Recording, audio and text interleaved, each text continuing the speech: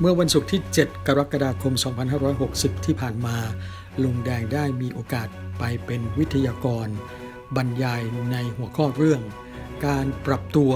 รองรับการเปลี่ยนแปลงในยุคไทยแลนด์ 4.0 ให้แก่เจ้าของธุรกิจสำนักงานบริษัท AIA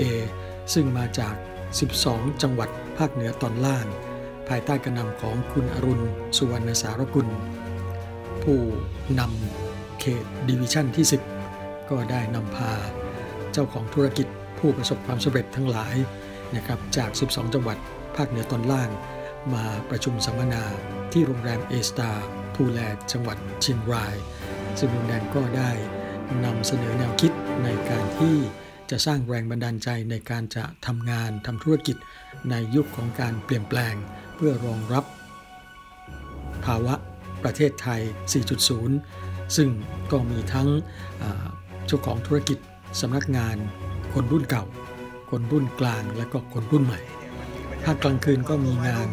เลี้ยงต้อนรับ ซึ่งก็เป็นบรรยากาศที่สนุกสนานนะครับ ก็เป็นอีกหนึ่งบรรยากาศสำหรับเจ้าของธุรกิจจาก 12 จังหวัด หลังจากนั้นลุงแดงก็เดินทางกลับที่พัก ซึ่งก็ทราบว่าวันนี้มีการจัดงานปาร์ตี้โฟม ซึ่งก็เชิญชวน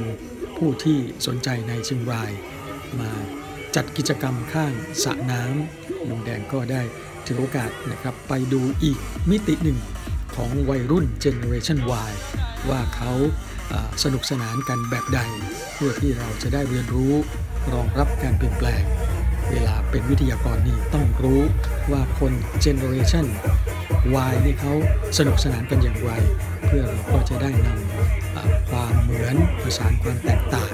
ในของช่วงวัยแต่ละช่วงวัยนั้น มาผสมผสานในการทำงาน เพื่อรองรับการเปลี่ยนแปลงที่จะเกิดขึ้น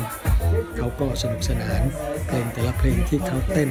ลุงแดงไม่รู้จักสักเพลงเลย แต่เขาก็สนุกสนานกัน แล้วก็มีนักท่องเที่ยวชาวจีน